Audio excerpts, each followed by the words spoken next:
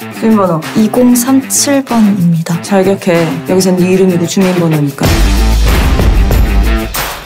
만나서 반갑습니다 해야지. 야는 우리하고 결이 다르네요. 아. 알고 있었나? 판사님께서 5년을 살라면 살고 10년을 살라면 살게요. 꿈꾼 것처럼 아무 일 없던 것처럼 저 엄마한테 가서 살고 싶어요.